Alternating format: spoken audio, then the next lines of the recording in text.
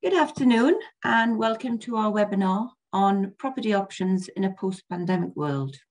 My name is Tracy Bird and I run the SCVO Information Service. And thanks to you all for joining us today. And just to know that this webinar is being recorded and will be available later on the SCVO website.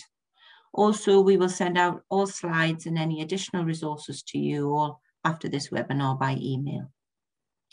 So our world of work has changed significantly in the last year, and some of these changes may be permanent. The pandemic has normalized remote working for many, and some organizations are now considering a hybrid remote office model and are looking at whether they really do need their current premises. So today we're going to look at the options available if you're thinking of reducing your property portfolio or relocating or reviewing the space you have or even considering new premises. I'm delighted today that we have with us Richard Smith and Kenneth Pinkerton from Brodies, who are partners in the SCVO Free Legal Advice Service. This offers SCVO members up to two hours of free legal advice on topics ranging from property and employment law to governance and charity law. And I'd also like to welcome my colleague, Alistair Dutton, who is head of our of Infrastructure and Technology at SCVO. And he's going to share how we are adapting our property strategy, making changes to the buildings and working with partners to build more flexible collaboration options. So um, just before we get started, um, I would like to just do a quick poll. And this is really just to get a sense of where you're all at right now. Uh, so what I want to know is as restrictions ease and offices begin to reopen, what are your thoughts on the future of the way you think your organisation will work? And there's just three choices here. Um, so do you think your staff are going to be working from home and they're going to continue to do this permanently? So maybe you're going to have to reduce your property portfolio or um, you're going to return to full-time working, but you're going to have to review the space you have. Or are you thinking about adopting a hybrid model? So you're going to have an office space with some home working as well. Um, okay, so I it's changing all the time here. I think the majority here are thinking about adopting a hybrid model of working. And that's certainly, I think, the way SCVO is thinking and um, a lot of organizations. So that's great. Thank you for taking part in that. Appreciate that.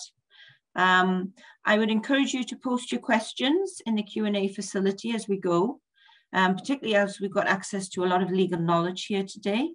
And now I'm going to hand over to Richard and Kenneth um, from the Brodies team. Thank you.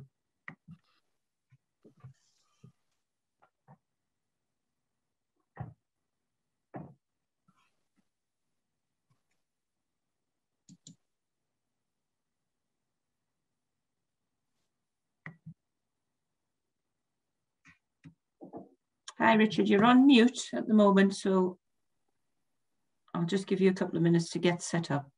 And hopefully you can hear me and you can see me, Tracy. Is that okay? Thanks. Yes, all good, okay. thanks. Thank you very much, Tracy, for that introduction. And uh, thanks uh, on behalf of Kenneth and uh, and I for the opportunity to speaking today. Um, uh, also, thank you for you, all the attendees who've taken the time out of the days to, to come and hear what we've got to say today. Um, introductions, first of all, of who we are. Um, my name is Richard Smith. I'm a partner in the real estate team in Brodies, in principally working at the Glasgow office. We're a business of over 750 people. We've got 116 partners in the business as well, and uh, we specialise in all sorts of legal uh, sectors across the, the, the, whole market as required across the whole of the United Kingdom. I've spent nearly 30 years advising clients across the whole of the UK on real estate matters, principally occupancy requirements. Uh, and I've got an interest particular in advising charities over the last 10 to 12 years on their occupancy requirements. Um, Charles Hay was supposed to be joining us as well. Charles is a managing associate who sits in the team with us as well. He represents principally a lot of the housing associations on the charitable side in terms of the residential requirements that we've got as well. Charles can't be here due to a last minute emergency, so um, I'll be speaking on behalf of Charles's stuff as well. And Kenneth Pinkerton, Kenneth, our Director of Charities. Kenneth, do you want to introduce yourself? Thanks, Richard. Uh, yes, I am Director of Charities in the Third Sector here at Brodies with almost or over now 20 years experience acting for and working with charities and in charity law, which starts to make you feel very old when you're throwing about figures uh, like that. I am the co-head of our charities and third sector team, which is a team of specialists across the firm who regularly uh, act for charities. And that covers everything from charity law and governance, which is me to property, Richard and his team, GDPR, contracts, litigation, really the full suite of legal services that charities might require. I am also a trustee, and I should declare that I am a trustee of SCVO and have been for just a little over three years now. Um, I am also a trustee of Enable Group. Um, in addition to that, along with Tracy, I am a member of Scotland's Third Sector Governance Forum, which organises Trustees Week, and it also owns Scotland's Third Sector Governance Code. And Tracy and I are involved in a little bit of research at the moment about the use of the code. Um, and it would be really helpful to us if you are as, a, as basic a question as if you are aware of the code, can you please just put yes in the chat box? We're doing a little bit of a survey about how high its profile is. And I will now pass back to Richard to give his talk. Thanks very much. Kenneth. Richard, just before you start, can you ask you just if you can make the PowerPoint full screen so that we can um, see it better? Uh, Technology is not my strong point, so. You're also asking the wrong person, so. Richard, if you go onto the display settings, you should be able to fix it there and just click um swap that, prick that button there, yeah. Is that any better? There you go. Yeah, that's it. That's really perfect. Great. Okay, thanks. Well, that Thank gives you, you um, bigger logos on the screen and gives you an, an, idea of the type of clients that we, we, we, we've been representing on the charitable side. As, as, as Ken said, it's across not just the governance side of things, but in terms of their corporate structure, their pension liabilities, and any pension deficits which exist from building um, dog sanctuaries for charitable causes such as SPCA, and also from the retail side of things, um, in terms of the high street shops for Save the Children and Sue Ryder, plus of course office requirements. We've most recently been involved in assisting Macmillan with their office changes in Glasgow and Edinburgh in particular. So that gives you an idea of the type of client base that um, that we cover. Um, when Charles and I first had the conversation about setting up this chat today, it's always very difficult for lawyers to come up with things that are relatively amusing. Um, and we came, Charles came up with the idea of should I stay or should I go, which some of you may remember from a certain song. So for the chat bar, without using any form of Google, if those of you who are old enough to remember could perhaps say who sung the song Should I Stay or Should I Go and the exact date that it was released, then we'll see if anybody um, gets that correct and there'll be a small prize sent to someone who manages to achieve that. Um, in running through the options that the charitable entities think about, should I stay or should I go, nobody knows what's going to be the, the norm going forward in terms of our of, of both the occupancy in terms of offices, but also for the business premises or the retail side of things um, in, in the future. Two meter distancing, I'm sure we'll all have our own independent views as to whether or not that's actually going to be achievable or not. I had special permission to go into the office on Monday in Glasgow, which takes 210 people on one floor. I was one of four people in the office. Um, the reason I was in the office was because I had three completions which I'd done, which involved scanning in 60 page documents. I can't imagine a world where we're standing two meters apart, queuing for a photocopier and wiping down photocopiers in between every single person visiting that. So the challenges are faced by all occupiers and all business all, um, owners going forward as to how we're going to make this work. But obviously charities are exactly in, in, in that in that status as well. We're going to look at the four concepts there what space do you have? What space do you need? Is it more? Is it less? Do you need to have a larger office to accommodate the same people? And if so, how can you how can you deal with that based upon your current parameters of your lease liabilities? Because we're assuming that for the majority case here, this will be leasehold property. Added to that, what liabilities do you have? Do you currently have, or might you inherit, depending upon the decisions which you might decide to try and take forward? Are your accommodation requirements permitted to be flexible enough or do you need to change your leasing structures to allow the flexibility based upon what you might need to keep changing because eh, originally people would enter into leases for 10, 15 years on specific arrangements with no breaks and have to run that period. Of course, that's a long time to ensure that your business will not need to adapt in that period. And that's really reflective of the fact that a lot of people are taking five year leases with breaks at year two, year three to ensure that they can accommodate that flexibility. So, so what, what options do you have in terms of your current letting arrangements or may to have going forward? Uh, and then we'll touch on key dates because there's uh, a lot of points in terms of leases that you can take away from today, which you may or may not know. Um, it's not legal advice. It's telling you to actually go away and look at the documents, but to remember some key points based upon what the statutes actually say on this. So thinking about the space itself, um, are you a high street retailer? Are you a Save the Children or a Sue Ryder or any other form of charitable organisation who's maybe got a shop that's had to close? That's opened from the 20th of April because it's a non-essential retail store. It's opened and now is back to paying for some form of full rent or needs to catch up on historic rent. Maybe, in fact, it's a good location for you. Maybe it's a good income provider for you. Um, think of the British Heart Foundation. They're a great example of a furniture store because that's what they are, who make a huge income from the ability to have a high street premises. Maybe they want to have bigger premises because bigger premises might be cheaper because rents have changed. Maybe there's an option to actually increase, therefore, the size of space that you want maybe on the right hand side, you've got an option there in terms of your office premises. Your office premises might be set up for 12 people, but you're not going to have 12 people in the office at the same time. You might have three or four, depending on what happens going forward. Do you need to double the size of that to accommodate six or eight people? Do you need to reduce it? Do you need to go back to no people there? Do you need to have a PO box number and look at potentially going to some form of temporary office arrangement or rented desk arrangement? So it's looking at what those options are based upon your business requirements and how the strategy of your business is going to be going forward, probably over the next two, three years in this ever changing world. I think there's a lot of negativity thinking I'm going to have to shut down or I'm going to have to close offices. I think there's more options available to people going forward as to how they're actually going to operate. I mentioned 200 odd in our offices in one floor in Glasgow.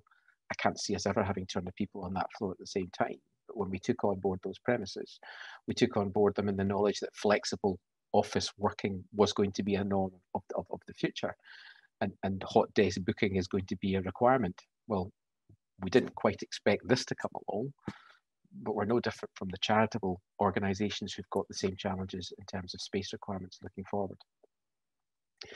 Just because you have those leases, you also have liabilities in terms of those leases. Uh, what I want you to try and think about is if you're stuck scratching your head thinking, what do we do with these with these premises we've got? I don't want you going to your board of trustees on a government's question and saying this is what we should do unless you've actually considered the full cost implications and the liabilities which you currently have under your under your lease structures.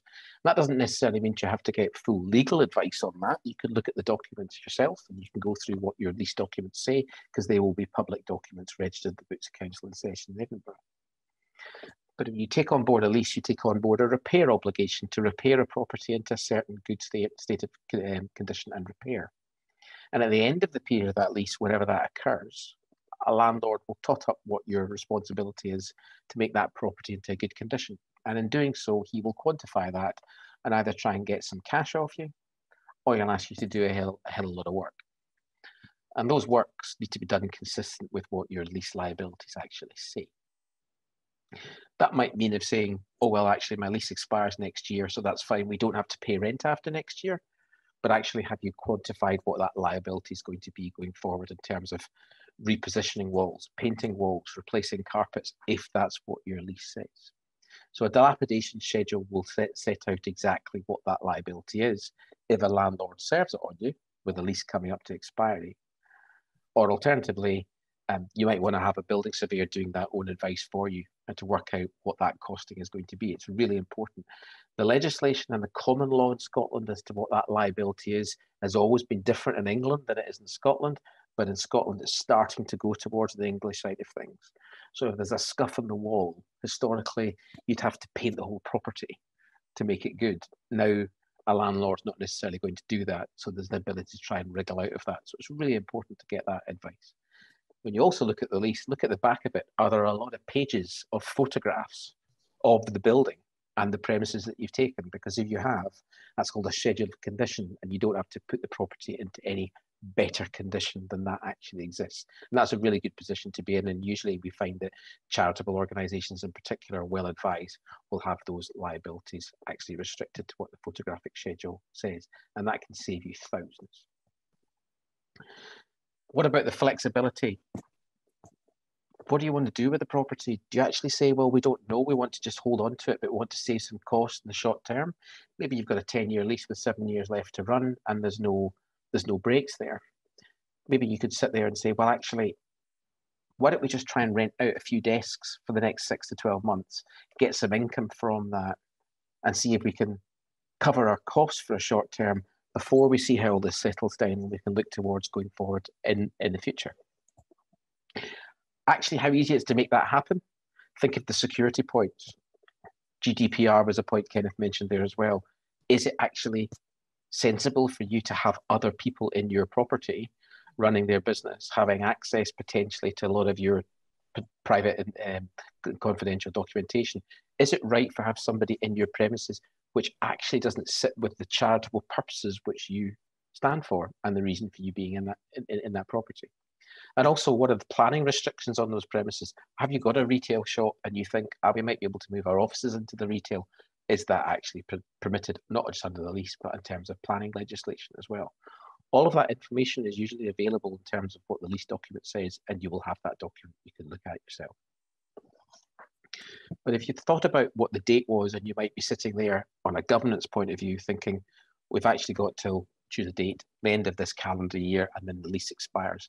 Actually, if the 1st of April we're out that property, as long as we get the dilapidation sorted out and we keep paying rent until then, we'll be okay because the 1st of January won't occupy that property.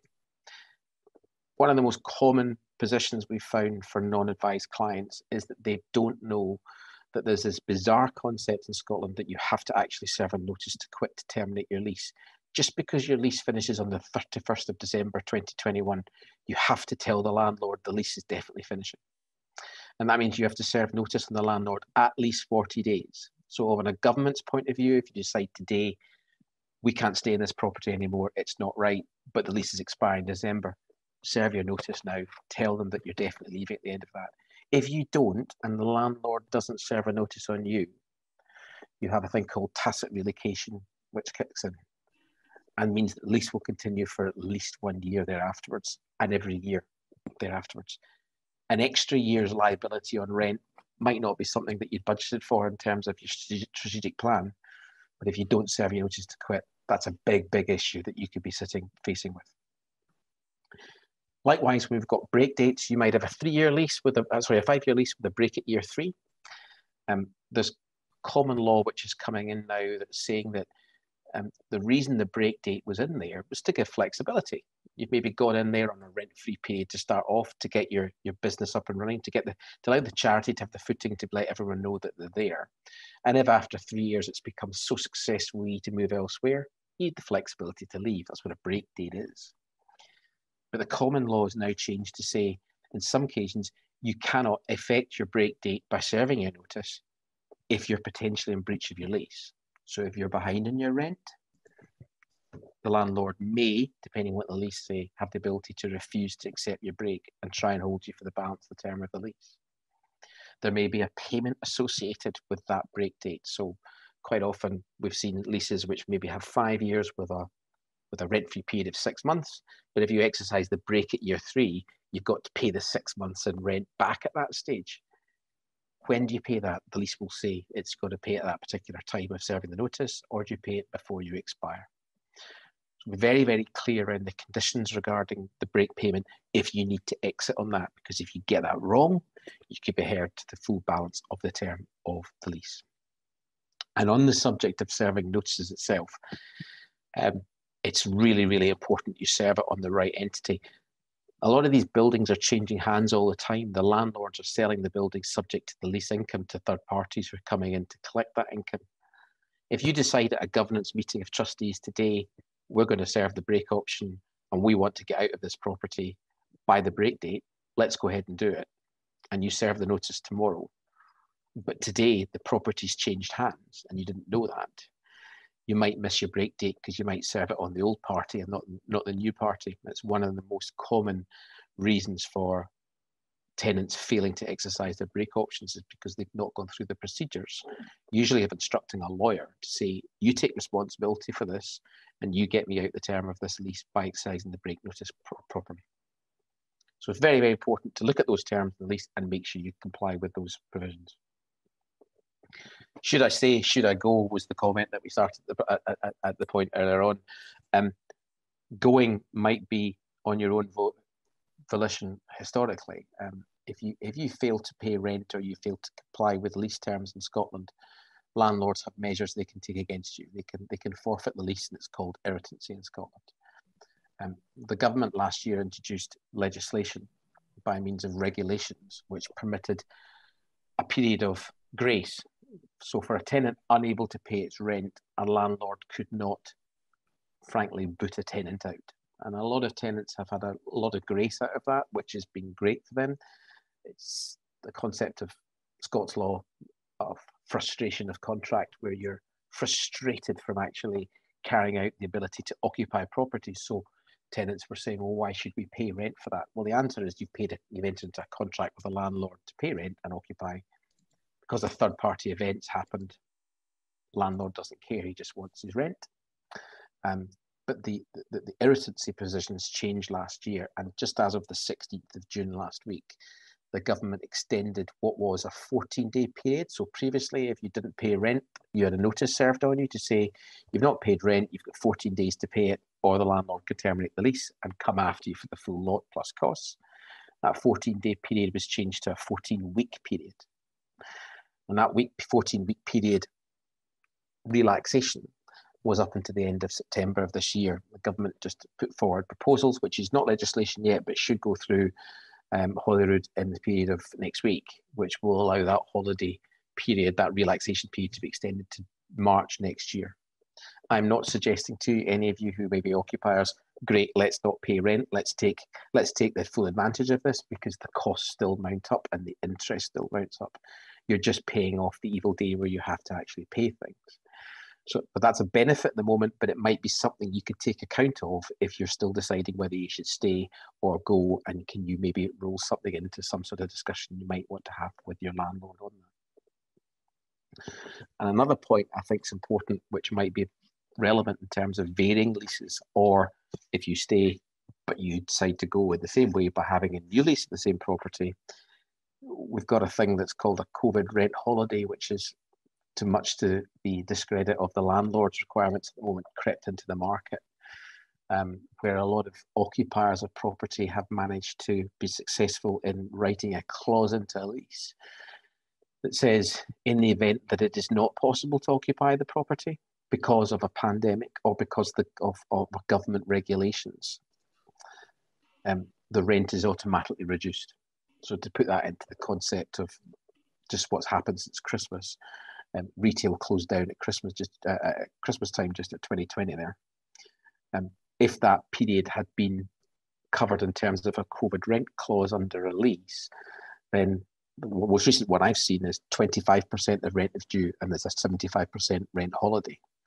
So for the period from Christmas Day up until the 20th of April this year, 75% redu- rent reduction for a tenant 25% only due, 75% essentially written off, but the 20th of April was the date by which non-essential trading was allowed to occupy, uh, allowed to, allowed to open again, and therefore full rent kicked in for that for that period going forward.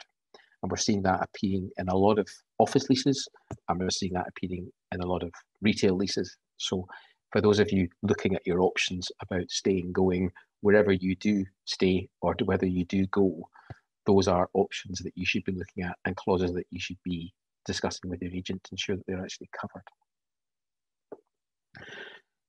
So that's fine talking about lease termination if you manage to get out your lease and you want to move on elsewhere because you have your break option because your lease is terminating.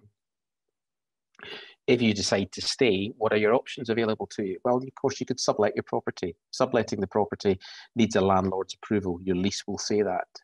So going to ask the landlord for permission for a third party occupier of the building is an essential requirement and you will be in breach of your lease if you do put someone else in there who has not actually um, got their permission to be there. Why? Well, quite often landlords have got bank loans for properties and the bank loans are the properties on the basis that the properties are let to an entity being the recognised charity entity that you are. Insurance requirements, the insurance policy says it's on the basis that that charity occupies that property as well. So just by putting somebody else in on a sublease without consent actually breaks up the chain all the way above and creates a number of breaches. You might decide that it's a 10 year lease with seven years left to go and you want it altogether. You can assign your lease, you can assign it across to a third party you can find someone else who wants to take those properties where previously maybe they didn't want to take that size of the unit. Maybe you've got 2,000 square feet of office premises, but maybe there's a bank that actually wants to downside from 20,000 to 2,000 square feet. You actually might find your unit's quite marketable. But if you assign it across, you need to get landlord's consent because you will be coming off responsibility for the lease and the new entity comes on board instead. Sharing occupancy, hey, let's get someone else to occupy a couple of desks. The GDPR requirements of that, the security requirements for that, the um, the COVID requirements in terms of toilet sharing, common parts sharing, whatever, whatever. Again, it creates a number of uh, a number of complications. So you have to get landlord's consent for that, and that will all be provided for in terms of your lease. similarly, you might turn around and say, "Well, we'll stay, but we don't need the two floors we've got. We just want one floor." Can we partially surrender back or renounce one floor back? Landlord will want to make sure he maintains a certain rent per square foot of his premises. So again, that will require his, his consent. Or maybe, back to the example I gave, we just want to say, take the view that as soon as we're allowed to occupy, but none of our staff want to occupy, it's Tracy's survey at the start, hybrid working, do you know what, we don't want to do full office yet, can we get, wait 12 months and see how it is? You might want to say, let's put someone else in who does want to do that for 12 months. A license arrangement will require landlord's consent for that. And, and, all of these involve cost, paying landlords costs for that approval process. And I think the final one to think about is what the fit out cost is going to be to accommodate a third party coming in doing that. Or in case of partial surrender, maybe you've done some works you've got to dismantle pursuant to your lease terms to allow somebody else to, to actually come in all of those points are so important to consider because when you sit at a charitable board of trustees meeting to decide on office strategy, retail strategy, residential strategy, or any form of property committee, it's wrong to simply say, let's just do this. It's right to say, here are the points we've considered. Here's what the lease says and this is the contingency cost that we think this might have to be apportioned against that.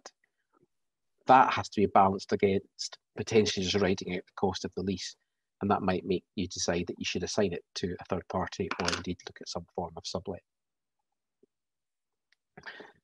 So let's think about going on to a new form of lease because you are going, but you're going either to stay in the same premises on new lease or you are deciding to go to brand new premises. What are you going to look for going forward?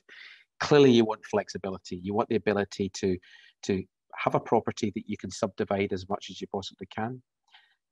Landlords don't like lots of tenants all responsible for paying rent. They want one party responsible for paying rent, and parties below that can maybe occupy if they're permitted to, and the insurance allows it, and the bank loan allows it, but they just want you on the hook for that as well. So make sure that as far as your flexibility is concerned, you've got those options available to you. And that takes you on to the ability to share possession on third parties. I'm sure there are a number of charities who are on this call today, because we've witnessed it in terms of some of the advice we've given so far, who are looking at the future saying we just can't survive on our own, but we're going to have to team up with other charitable organizations and we're going to have to share the responsibilities to make sure that we can survive through this as well well, just putting them into the building might involve a sharing possession structure, but actually might involve creating a new entity, and that entity needs to become the tenant under the lease to make sure it's compliant with the accounting requirements. I think you should be looking at break options going forward as well. Sounds obvious, but if it's worth paying a small amount extra per square foot, and by that I mean small, to have the flexibility to break the lease every two years or every year, I think it's worthwhile doing Because if you couple that with the next point, which is the scheduled condition, the repair obligation, you're just moving in and occupying. If it doesn't work, you could move back out again. At least you're covering your long-term liability by just making sure that that's covered in terms of, of, of the rent. COVID rent holidays, landlords out there will hate me for saying this, they're here to stay.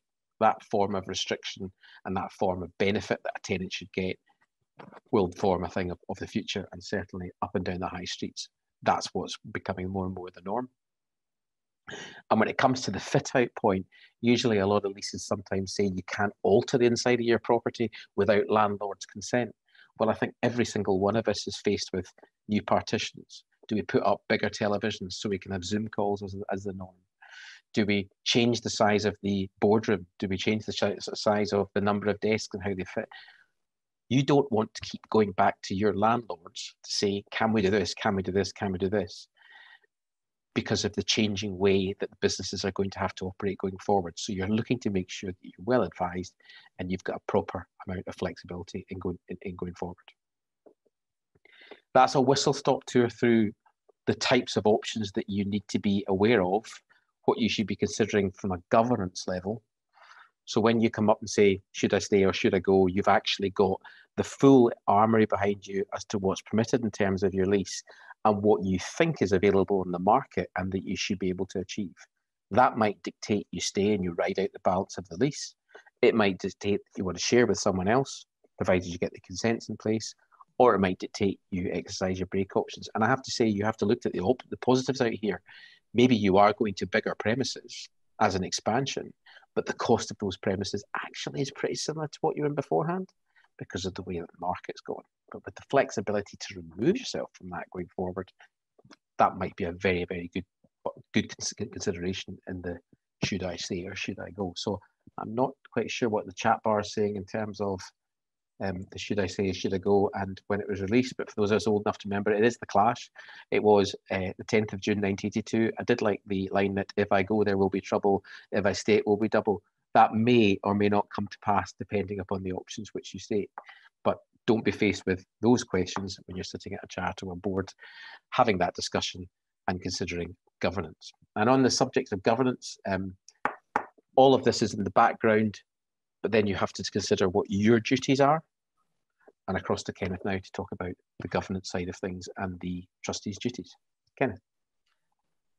Thanks, Richard. and certainly, if I take off my, my charity lawyer's hat and put on my, my trustee hat, you've certainly highlighted the various complexities there are, and it's it's not straightforward, and it is a bit of a, a web of things that we have to think of as trustees or alternatively the senior leadership teams who are giving the information to the charity trustees to allow them to take the decisions that they have to take. So for the next five minutes or so, I'm just going to take us back to basics and speak about how you discharge your charity tr trustee duties um, in connection with property matters indeed generally uh, in decision making. So right back to basics, we have the general duties of trustees under section 66 of the Charities and Trustee Investment Scotland Act 2005. And these are your core duties as charity trustees. So number one, you have to act in the interests of the charity. And what that means, if you skip back, Richard, yeah, that means that you have to set aside and manage any conflicts of interest.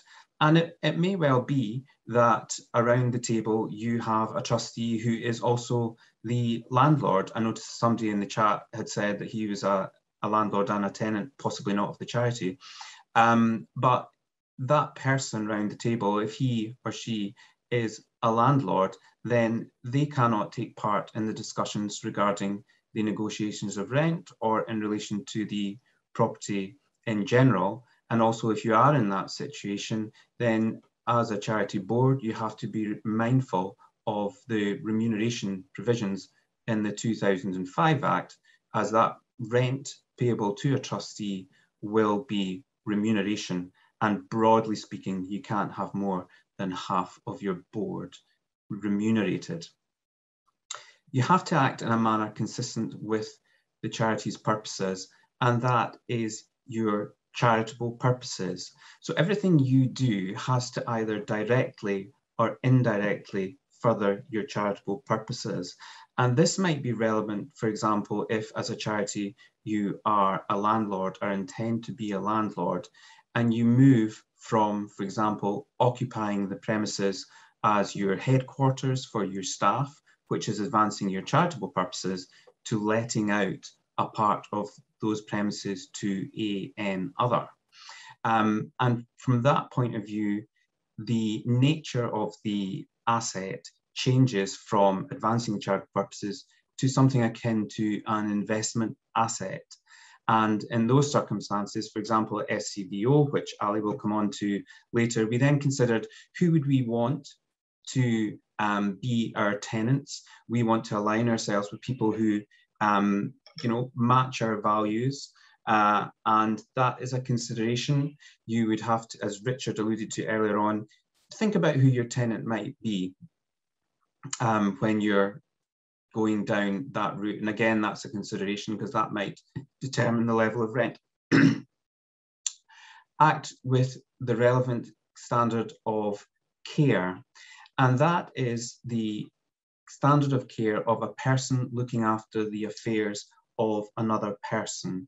And that is generally taken to be a higher standard than if you're looking after your own affairs. And generally what that means is you the, the level of risk that you can take when um, taking decisions around property is less than where you an individual. Um, a common example is sometimes given that if you are an individual with and you can do whatever you want, you have a hundred thousand pounds, you can go into the casino and you can chuck it all on red and just see what happens. You might make money, you might lose a whole lot, but who cares? If you are a charity trustee, you cannot do that. You have duties to take care of that cash. And the same applies to decisions around property. The last duty under that slide is a very particular one, which applies to um, trustees who are appointed by another organization. And typically that would be um, for example, a council who has the right to appoint trustees onto a charity. So in those circumstances, again, if the council was the landlord, the charity is the tenant, and there are council or trustees there, then those council or trustees cannot take part in any of the discussions or decision making surrounding the property. If you could go to the next slide, please, Richard there's a very useful piece of guidance published by the Charity Commission for England and Wales called It's Your Decision, Charity Trustees and Decision Making. And it sets out what charity trustees should be thinking about when they have decisions to make. And I find it very useful when there are complex decisions to take. Some are covered and you'll see the relevance or the comparison with the Section 66 duties. So, for example, you have to act within your powers. You have to make sure you have the power to do what you are doing. Act in good faith and only in the interest of the charity. So, again, that's dealing with your conflicts of interest. Back to one of Richard's points, make sure that you are sufficiently well informed you may have a trustee round the table who thinks he knows what the values are, thinks he knows what the law is. I'll look at that lease for you. No, not a good idea. Get proper advice. Take account of relevant factors and ignore relevant factors. As I've said before, manage your conflicts of interest, your trustee landlord or the tenant round the board, then you have to make sure that they are not taking part in the discussions. And leading on from that, then that can have an effect on your quorum, the second bullet point there. If you have uh, uh, trustees who have conflicts of interest and can't take part in the decision making process, then that can sometimes affect the number of people required to take the quorum, or it might mean that you don't have enough people to take the quorum, which can present challenges. The first point there on that slide I really like. And I think it gives us, as trustees and their advisors, some comfort. As we have learned and has been highlighted over the past 18 months or so, nobody but nobody has a crystal ball. And it is impossible to know almost what will happen tomorrow, never mind next month, never mind next year. And what this is saying is that as a trustee, you can only make a decision amongst the range of decisions that a reasonable trustee board could make. In any decision, you always have the status quo, and then you can always do something else, even if it's the Armageddon option.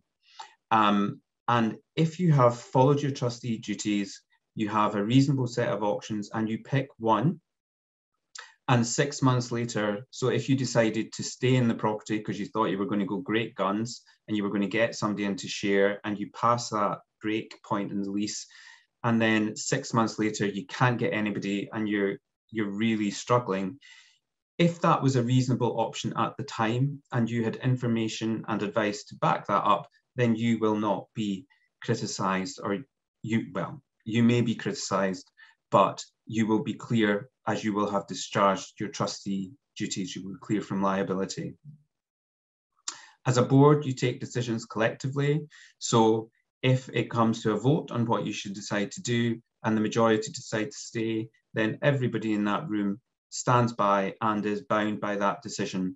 Because you decided to go the other way does not mean that you have no liability or no responsibilities, a better word, in respect of that decision. Just now, um, we are looking at many constitutions which, for example, don't allow for electronic meetings for constitutions. They might not have procedures to allow for proxy votes or to take um, decisions by written resolution procedure. So just check that so that if you are taking a decision outside of a meeting and you can't have electronic meetings, I'm sure you're all sorted out by now, then take care there. You'll remember at the start, OSCR was fairly relaxed about not having these powers to take have electronic meetings, we're seeing a hardening up there from OSCR, um, and they're really taking the view now that you've had sufficient time to get these things sorted out. On the point of delegation, you may well be delegating to a committee to look at the property matters. Uh, for larger charities, that is probably the case be sure that the committee knows, be sure that you know what are you delegating. Are you delegating the decision power?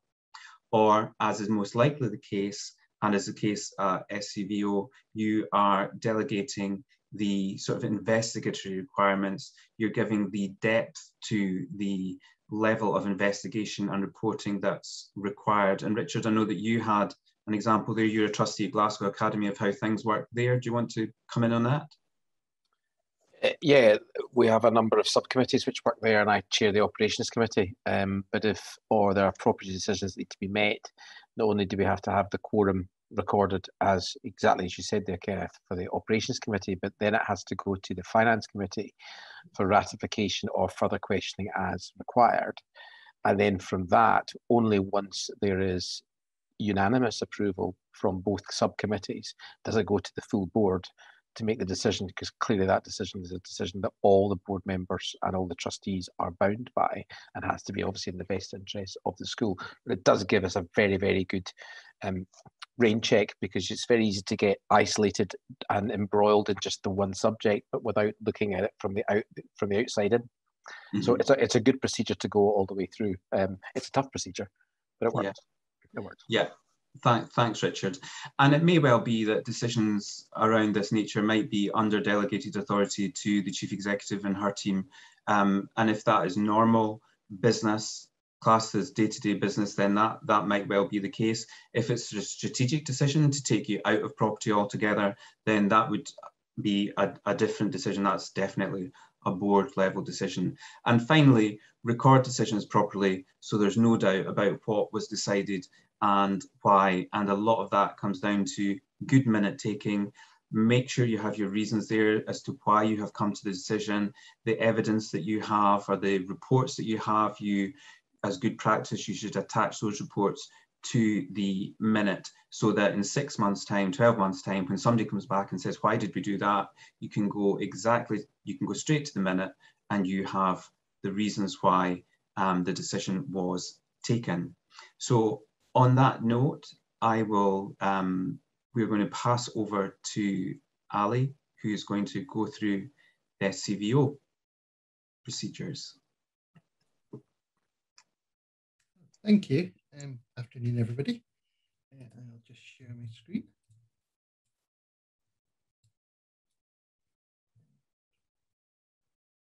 Hopefully. Uh, is that working for everybody? Tracy, if you can see it, can you thumbs up? Brilliant. Thank you so much. Um, I'm Alistair Dutton. I, I head up the infrastructure team at SCVO, which is broadly speaking property and IT stuff. Um, and just in, in a fairly short presentation, just to kind of cover where we're at, where our thinking's at, and where we might be going, and also to kind of highlight some of the gaps um, that we've got at the moment, some of the uncertainties and things, um, particularly some of the ones that Richard alluded to right at the start. To give to give an, an overview of our property, um, we've got four sites that we operate. So in then they're kind of mixed ownership and leasing. So in Edinburgh, we're in a long-term lease in a category A um, listed church um, that's been repurposed. We can accommodate about 150 or so um, desks within that. And then there's an event space upstairs for about 400 individuals. Um, in Glasgow, we operate across two sites. We have a building in Merchant City and also a property in Brunswick, uh, sorry, in Sauchiehall Street in um, Glasgow. And the two between the two of them, that's around about 340 desks, plus um, some limited event space within there too. And then our last property was one that we purpose built ourselves up in Inverness a few years ago um, out of town. And that across two floors hosts around about um, 80 individuals. Um, so they're kind of mixed bag of um, properties that we own and one that we lease as well too and that long-term lease is kind of got about two years um, to run in it. So we're at the stage of thinking with that what the future looks like as well too. Um, our models kind of, I think somebody in the chat had, had a similar model as well too. Our models are kind of mixed one. So our buildings serve two main purposes. They're a home for our staff um, and running events in, in normal times. And they're also a hub for partners as well too. So we run the spaces in two main ways. We have bespoke four walls and a door kind of closed spaces that are, are, offices within offices. And then we also have open collaboration areas, um, kind of co-location type um, thing, which are kind of built around a kind of sense of community. Um, and there's a high degree of flexibility and kind of come and go with that as well too. And we also kind of unique to us as well too. We have in Edinburgh, we have um, a space which we um, we work with a private sector company to um, run boutique events upstairs. So weddings, um, kind of corporate events too. And that's really a kind of, or has been, uh, an income generation thing for us as well too, for unrestricted income. That obviously had gone by the by, but we're starting to see the kind of green shoots of recovery a little bit with the event side, which is which is good because it's important to us. Um, where we're at now, um, obviously, like everybody else, um, the pandemic stuff stopped kind of on-premise activity almost overnight, in about 24 hours. Um, we had to basically close down our buildings. Um, we have had some limited access with some of the partners that we've got that are providing um, essential services and particularly early on around PPE equipment and things like that. Um, but 95% um, have been remoting the big thing for us, and, and again, Richard, is, is, is this is still a high degree of uncertainty around where we'll end up and what the future will be. Um, things are starting to become clearer. Dates are becoming slightly more firm now. Um, talk of differences in social distancing between two meters and one meter has a massive impact on the number of people that we can physically get in the buildings, not just at desks, but in common areas, corridors, toilets, staff rooms, etc., etc. And until we really know that, I, I don't know if we can make the kind of informed decisions um, as to what our pro overall property strategy should be. I think it's coming very soon, um, but for me, that's still the biggest question mark. We're, also, and, and this is becoming a, a, a, bit more focused, but we, we have for our own staff um, been getting kind of mixed views from some of the feedback that we've asked in terms of surveys, and attitudes have changed um, over the last 12, 18 months. Um, and we're going to kind of drill down a lot um, more on that over the next few weeks to try and actually see where people are at. We've second guessed some of the adaptations so far. So, like a lot of you, um, we've done things like we've put in digital signage um, to be allow a high degree of flexibility, to encourage social distancing, to mandate mask wearing when people are moving around, to encourage people to, to wash their hands, etc. Um, and the signage has been what we try to do with the whole thing across is to make the experience as welcoming as we can. Um, so we've avoided things like putting kind of health and safety tape across areas over um, prescriptive signage. We've kept it to try and keep it in a kind of friendly and encouraging way. Um, and we've also had to kind of clear down all our spaces as well too.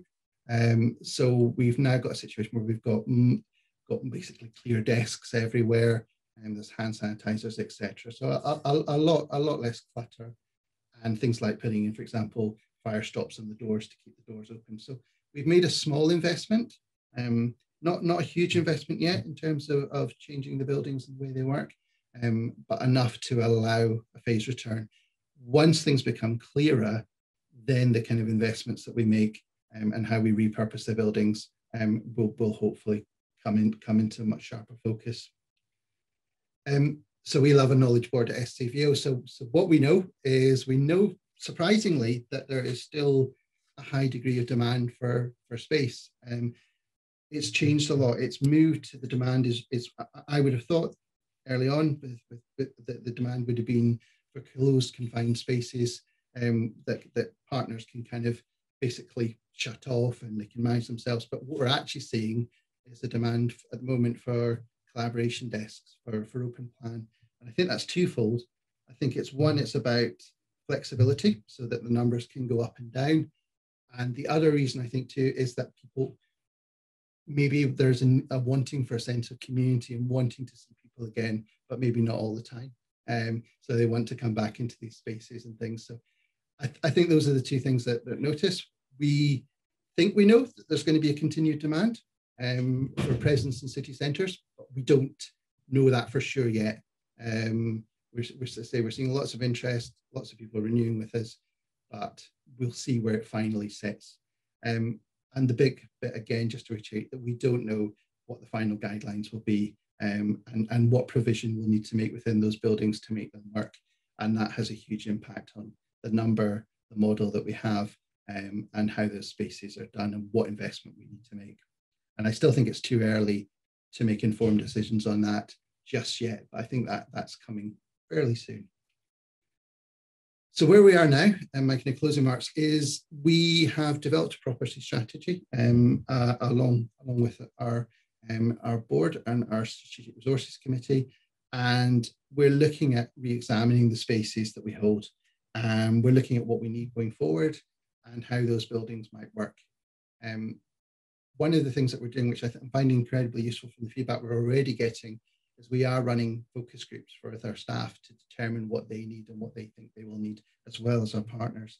There's a lot of anecdotal evidence around, and I've noticed a lot of people projecting other people's opinions and things on as well. So what we really want to do is, is, is use this opportunity to say, right, what's going to work? I know stuff will change as, as, as, as, hopefully things begin to unlock um, and attitudes might change, but drilling down to that, that, what we've noticed is a really granular level of requirements. So that's really good. Another big thing um, that I think Richard or Ken mentioned was we, we've invested in software to make all of this work.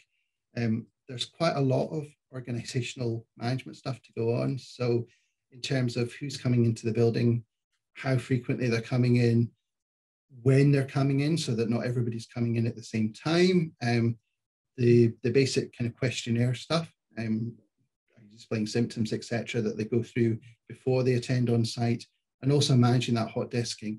And all of that then informs things like the clean, cleaning regimes we do, where we need to where we need to do, um, focus on, right through to things like if we need to do track and trace as well too. We've got that ability. Um, so, so and that I think is going to create take a big big admin burden away um, and the final thing that, that we've, we've started to do is kind of change the narrative around our spaces and move from our traditional kind of landlord tenant um, kind of lease contract led type model to much more flexible collaboration spaces going forward, um, where partners can vary the amount of desks that they need to as almost on a month by month basis, um, and that they can get the services and wrap around stuff that if they had a large building and a large presence, they might invest themselves. If they got one or two desks, um, then they can come to us for everything. Um, and we've got small community-based organisations all the way through to Oxfam and UNICEF at the other end. Um, so that's quite exciting. That's kind of my overview of where we're at. So still a lot of uncertainty, um, but things are starting to crystallise um, as we go on. Thank you. Thanks, Ali, and thank you, Alistair, uh, sorry, Richard and Kenneth as well. That was really fascinating, particularly that notice to quit thing that you talked about, Richard. I've made a note of that. Um, we've got a few questions and just a few minutes left. Um, there is one that I can actually answer about the guidance from Scottish Government. Um, it is still the default position that you should work from home. Um, but you can get a lot more information on that on our own coronavirus information hub. So I'll put a link to that in the chat. Um, so that leaves the two difficult questions for the lawyers, I think. Um, so the first one we got in was from Jane Adams, and she wanted to know um, very quickly, if you can, what advice would you give to charities who are thinking about buying a property rather than taking out a 10-year lease? You know, what are the pros and cons? Um, should you buy a property? If you can, yes. Does your governance allow it? Kenneth's point, find that out first before you go any, any further. Money's cheap. Borrowing is cheap at the moment. Banks are very keen to lend to businesses to keep them going, provided that they are viable businesses. So borrow some money to buy it without exposing yourself unnecessarily. Giving your control of the building allows you to be flexible in how you occupy it consider which bit you want to occupy and it doesn't prejudice the ability for other people to come in and occupy and choose the right location um, because it, it could be an income producing asset which you might even want to think about sticking in a pension fund associated with the charity as well. So it's a good thing. It shouldn't be dismissed provided it's the right location. Yeah. I don't suppose there is a right or a wrong answer to that one is it Um, okay, the other question is, um, is there any way we can go for advice on the impact of COVID on office lease rent costs going forward? Have they gone up or down? Um, the Martin's landlord has offered to sell the office building to us, but the board really need to consider how this would be funded and how we would get an independent opinion as to what the building's actually worth. Yeah, this is coming up a lot, Tracy. This is um, what I would Obviously, we work with a different number of agency surveyors because it's agency surveyors who come up with this kind of market intelligence. Um, we're not affiliated to anyone, but you've all seen the signs that say Ryden, Savills, Jones Lang, or whatever. Uh, I would encourage anybody in that circumstances, Martin, just to drive down a street with offices in it in the nearest city that you're in. Look what the to let board signs are, and those buildings that those to let boards have businesses on them, and they are agency surveyors who will be able to assist you with that. They'll charge rates, but they also do charitable rates. I've just done a deal with Ryden, for example, who had a charitable rate with Macmillan, as indeed did, did, did we. But from they have the market intelligence to work out what square footage of both retail and in some cases industrial, uh, but also office rents have come to based upon whether they are category A, to B, or C uh, properties. They'll give you the idea of the type of rent you should be paying for and therefore the price per square foot that you should be buying at. And between them and the agency surveyor acting for the landlord, you'll reach a compromise on what the appropriate deal will be. Once you've got that, if you're buying it and you're buying it with bank funding, a bank funder will probably want a valuer independently to look at that as well. And that will be included in your loan costs to allow you to go ahead and buy it, or in the case of a renting structure, to make sure the rent figure is correct.